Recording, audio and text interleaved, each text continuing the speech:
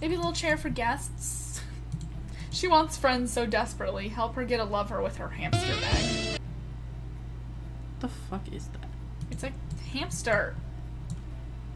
Its face is really Don't scary. judge it. Leave it Its alone. face is really bothering me. All right. More incredibly just- offensive comments. Don't love what, Robin? Finding a lover The with. The face of the you mean finding a lover with her hamster bag? mm, no. Oh God. Ooh, maybe this is our new lover.